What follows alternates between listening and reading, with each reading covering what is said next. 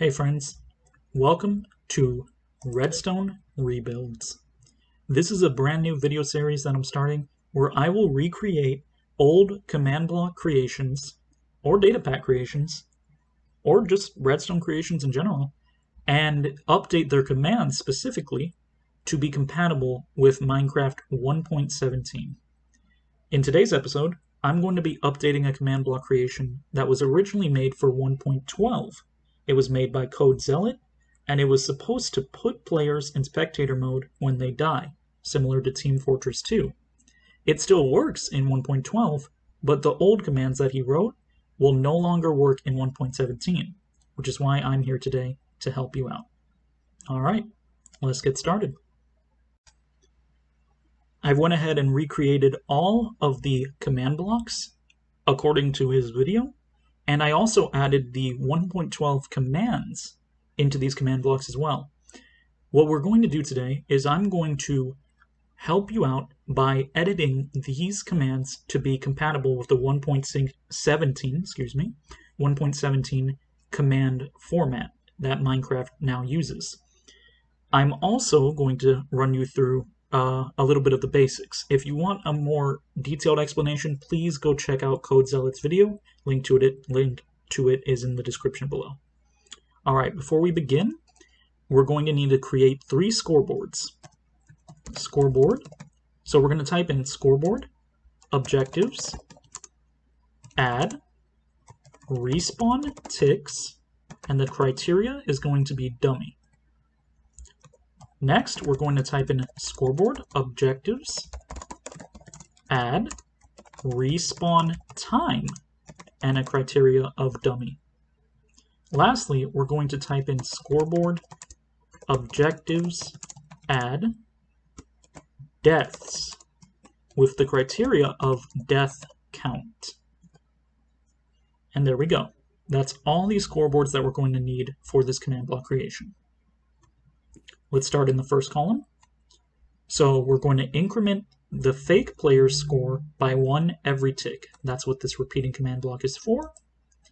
And because uh, Code Zealot's old command is actually well written, um, and still nothing about it changed as of 1.17, the command itself is highlighted correctly, and so we know that it is going to work to run well. So all we need to do is hit done, and there's the command for that. And there we go. Next, we're going to test if the fake player score is 20, because 20 ticks is equal to 1 second. So we open this command block, and we already see that there's a problem here. Scoreboard players test no longer exists. So what we're going to do is we're going to delete test, and we're going to write execute if, and we're going to delete board, score, respawn ticks, respawn ticks, matches 20. So what, oh, and by the way, all the command, the chain command blocks, they need to be set to conditional. So make sure you do that. So the command for this command block is going to be execute if, which is basically the same as test for, just test for no longer exists. So we're checking, so we're executing this command if the score of our fake player on the score objective, respawn ticks, same name, matches 20. Done. Next command block, we're going to set the fake player score to 0, which will restart the count. And this command, as we can see, it needs to be set to conditional, but um, this command is perfect, so we don't have to edit it. An issue, um, not an issue, a thing that we could do actually instead of this is reset respawn ticks, respawn ticks. So scoreboard players reset, respawn ticks, respawn ticks. But why we don't want to do that and why we want to do simply set respawn ticks, respawn ticks zero is because if we reset the score for any player, not just our fake player, it will remove that player's score from the scoreboard entirely, making it undetectable. Now we want it to be detectable, so what we're going to do is simply do the same thing, just assigning a numerical value to it, 0, and that's the same as doing reset, it just makes it detectable. Next, for the last block in this column, we're going to remove one second from dead player's respawn time. Now this command is a little more broken than the rest, but that's okay. So the scoreboard players remove at all players with the tag of ghost, and here's the broken part. This format changed completely. So we're going to change this to scores equals squiggly bracket open respawn time equals 1 dot dot squiggly bracket close. What this two dot dots means is that is that is a minimum of 1. If you did it dot dot 1, that is a maximum of 1. If you do 1 dot dot 1 or 1 dot dot 2, it can either be 1, 2, or any number in between. It works better if it's 3. But what we want is simply a minimum of 1. The scoreboard objective is the same, respawn time, and we're checking, we're adding, nope, we're removing it, my bad, from 1. So every time uh, this runs, it's going to remove 1 from this score. Also, we want to make sure this is set to conditional. Next, we move on to this column. We're going to tag all players who die as ghosts. And this one is also very broken, so bear with me. We're going to execute as, so we're adding an as in there, at all players. So we're going to change the score format again.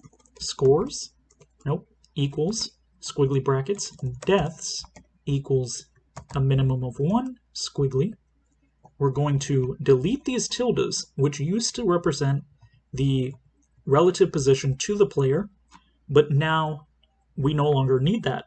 In modern terms, we could do at at s, which is our self.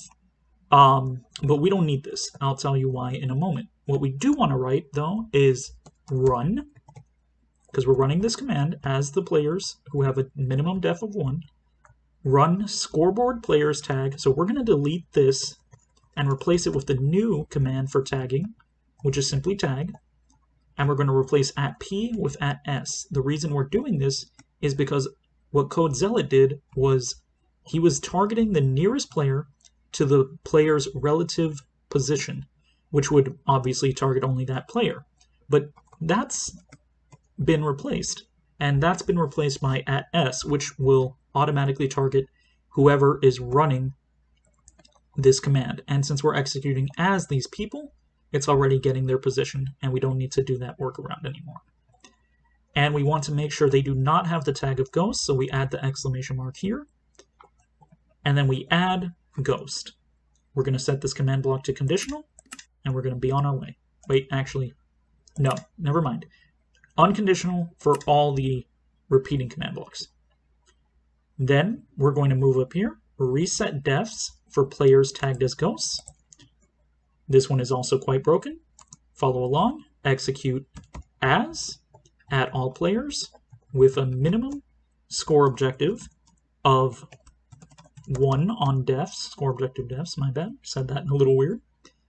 Um, there we go. We're going to delete the tildes and replace it with run scoreboard players set. That is fine. That's what we wanted to do. And then we replace the at p with at s, and we set their defs to zero. Now we hit conditional because it's a chain command block. Next, we're going to set ghost to spectator mode. Execute as, at all players with the tag of ghost. Three tildes, delete, replace with run.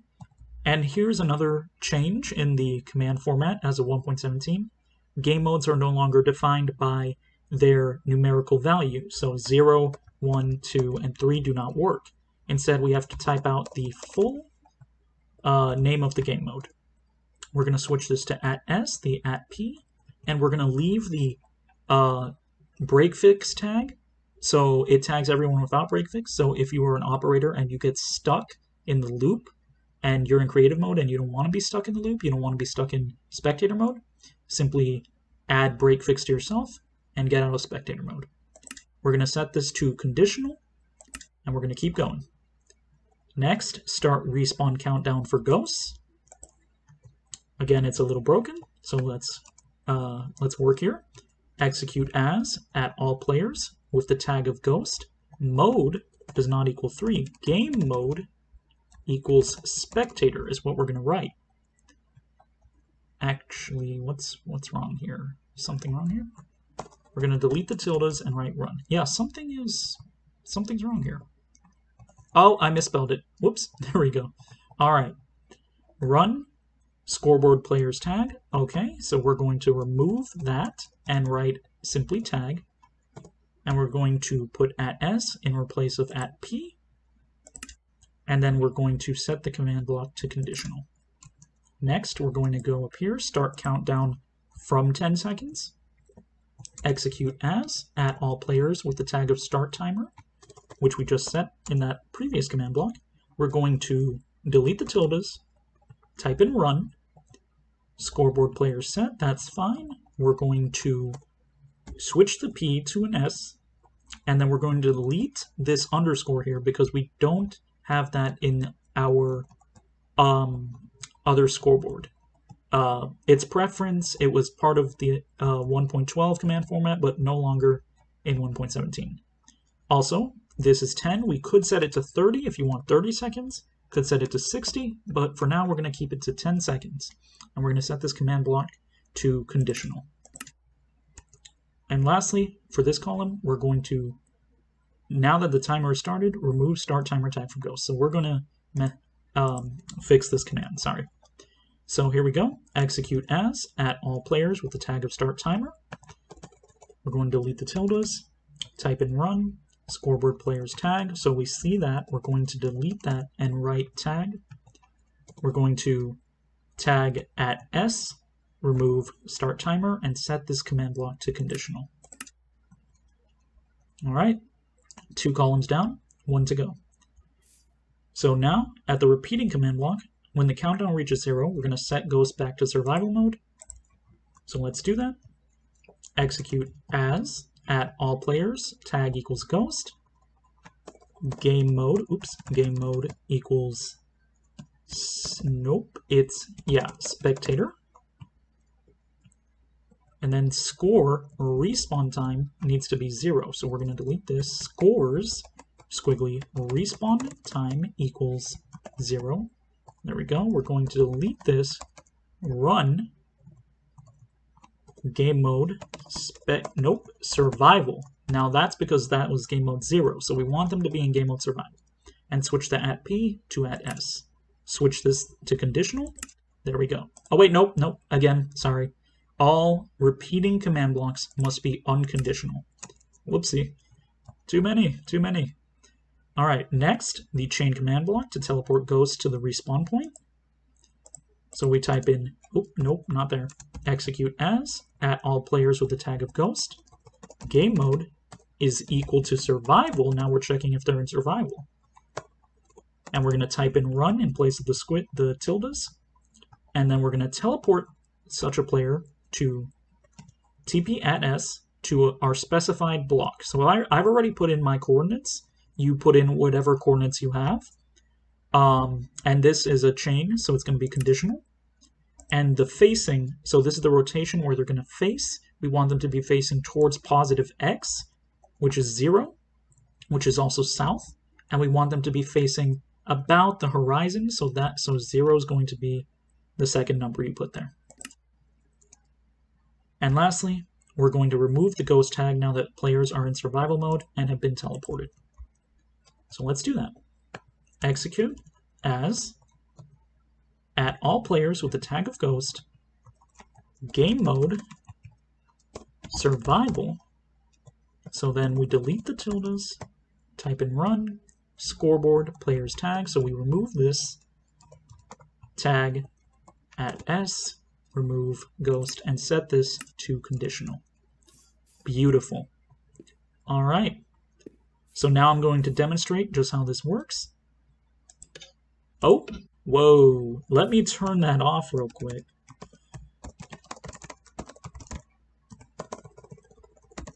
There we go. Command block output false. That's what you want to do if you see all of that. See, there it goes. Next, we're going to turn this one on. And lastly, we're going to go turn this one on. Wonderful. All right, and before I do this, I'm actually going to scoreboard. I'm going to do this, set display, and you can do this too if you want. Sidebar, respawn time. Yep. Set display slot sidebar to show respawn time. Perfect. All right.